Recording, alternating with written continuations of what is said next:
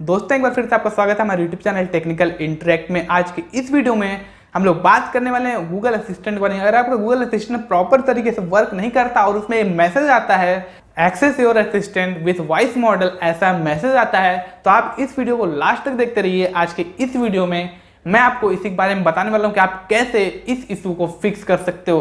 तो इस वीडियो को लास्ट तक देखिए, पूरा देखिए। उम्मीद है आपका प्रॉब्लम सॉल्व हो जाएगा। अगर आपका प्रॉब्लम सॉल्व नहीं होता है तो आप कमेंट बॉक्स में लिखिए। मैं दोबारा इस पर कोशिश करूँगा अच्छे से अच्छे तरीके लाने की, यानी कि इसके ऊपर और रिसर्च करूँगा और इसके बारे में अच्छी और वीडियो बना के आपको बता दूँगा। तो चलिए स्टार्ट करते हैं इंटरेस्टिंग वीडियो और देख लेते हैं कैसे आप इस प्रॉब्लम को फिक्स कर सकते हैं।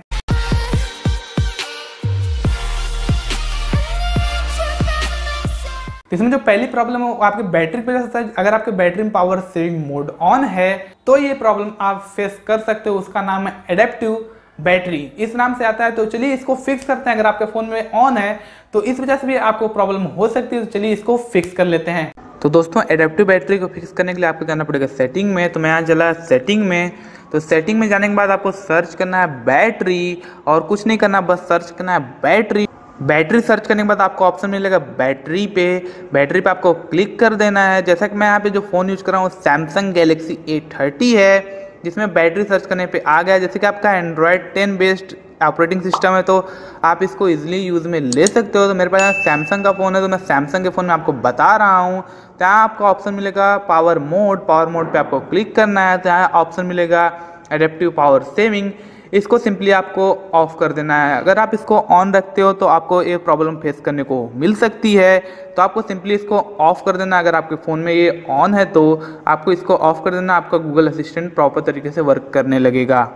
नंबर दो पे आता है अपडेट अगर आपने अपने गूगल एप्लीकेशन को अपडेट नहीं किया है, तभी ये प्रॉब्लम आपको फेस करने को हो सकती है। तो जाइए प्ले स्टोर में और अपने एप्लीकेशन को, यानी गूगल एप्लीकेशन को अपडेट कर लीजिए। नंबर तीन पे आता है वॉइस मॉडल वॉइस मॉडल को रिटेन करना है वॉइस मॉडल दोबारा आपको बनाना पड़ेगा। उसको चाहिए वॉइस मॉडल को डिलीट कर दीजिए। चलिए उसको डिलीट करके देख लेते हैं और आपको वॉइस मॉडल को दोबारा रिटेन करना है, दोबारा बनाना है। अपना नया वॉइस मॉडल उसमें आपको क्रिएट करना होगा। तो चलिए चलते हैं अपने फ़ोन में और देख लेते हैं कैसे आप अपना नया वॉइस मॉडल क्रिएट कर सकते हैं।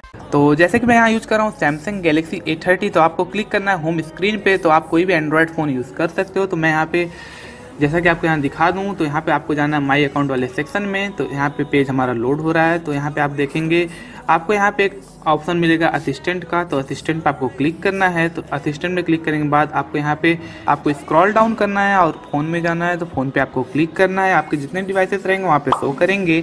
तो मेरा यहाँ पे केवल एक फ़ोन है तो इसलिए फ़ोन पे मैंने क्लिक कर दिया तो आपको यहाँ पे दिखाई देगा वॉइस मॉडल तो वॉइस मॉडल पे आपको क्लिक करना है तो जैसे कि आपको यहाँ पे करना है रिटेन वॉइस मॉडल और delete voice model retrain voice model फिर जाना है और यहाँ पे आपको कहना है। Okay Google okay Google hey Google hey Google और आपको यहाँ नेक्स्ट करना है, फिर फिनिश तो चलिए इसे चेक करके देखते हैं। Hey Google